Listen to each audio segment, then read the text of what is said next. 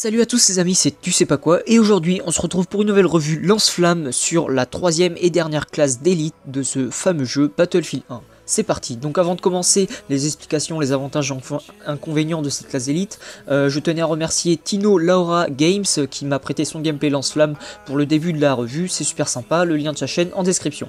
Alors, le, lance-flamme, il a une arme, ça s'appelle le Vex, donc c'est le lance-flamme en question.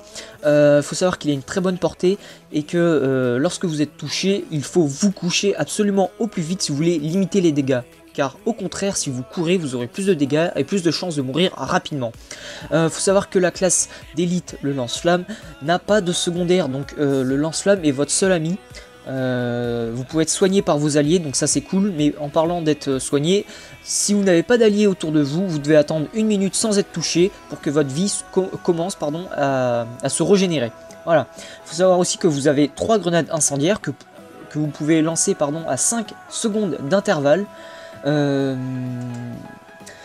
donc il faut savoir aussi que la classe d'élite du lance-flamme, comme toutes les autres vous me direz, a beaucoup de points de vie et elle est presque équivalente euh, au nombre de points de vie de la classe d'élite, la sentinelle. Euh, j'ai à peu près tout dit. Faut savoir juste aussi que vous pouvez tirer en continu avec le lance-flamme. J'ai testé, il ne s'épuise jamais. Donc là c'est un peu le gameplay de la bêta, mais ça c'est pas grave. Donc voilà les amis, c'était tout pour moi. C'était tu sais pas quoi, et on se dit à la prochaine cette vidéo est maintenant terminée. Je compte sur toi pour mettre un gros like car pour moi c'est très utile. Donc je te remercie et on se retrouve pour d'autres vidéos.